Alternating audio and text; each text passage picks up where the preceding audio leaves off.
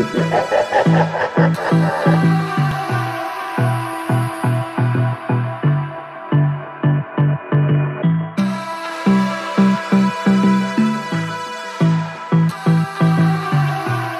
guys! So the first thing that I'm going to do is prime my face using the NYX Pore Filler Primer.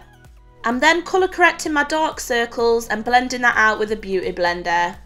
For foundation, I'm mixing together Kat Von D Light 44 and the Urban Decay Naked Skin Foundation. I'm using a selection of pencils on the brows to make them look really bushy I'm building up the colour from light to dark and I'm using tiny little strokes to mimic real hairs. The darkest shade that I'm using is black because there's black in the wig I'm wearing. I'm still concealing underneath the brows because I do want to bring an element of glam to this look. I'm then priming my eyes using the Urban Decay Primer Potion. I'm using white eyeshadow to highlight underneath the brow bone and I'm then using red on the lid and blending that up towards the brow bone. I'm bringing that red underneath my lower lash line and then I'm blending that out with a fluffier brush. To make the red on the eyes more intense, I'm adding Star Crushed Minerals Celebrated Pigment. I'm using the Gold Graftobian powdered metal with a little bit of the mixing fluid to create a halo eye. Once the mixing fluid is dry, I'm just blending that out with a fluffy brush. I'm then curling my natural eyelashes and applying mascara, getting ready to apply the falsies. The lashes that I'm using are the NYX Sinful eyelashes. I'm using liquid eyeliner to conceal the lash line and then I'm blending that out with a little bit of black eyeshadow to create a winged effect in the corner.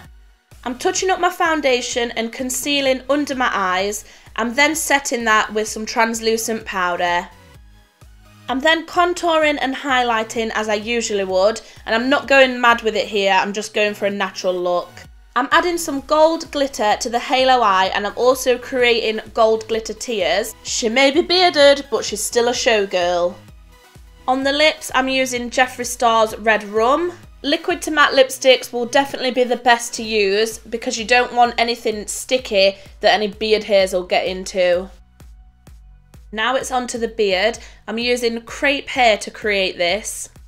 Before we lay down the hair, I'm using a cream colour palette to stipple on some shading and create kind of a base for the beard. If we went straight in with the hair, it would just look like sparse pubes on our face.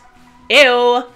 I'm applying spirit gum over the top of that cream colour base and then I'm picking up chunks of hair and kind of rolling it over the top of where we've laid down the glue. As you pull the hair away from the face, the spirit gum will kind of snatch it and stick it to the face. As you're adding hair, you'll also need to keep adding more spirit gum and it's just to kind of repeating this process until the beard looks full enough. I'm adding a little bit of that hair to the moustache as well, but not too much because I don't want it going all over my lips. I'm then adding a little bit of hairspray and kind of patting the beard into shape. Nice beard, Emily. What's it made of? Your mom's chest hair.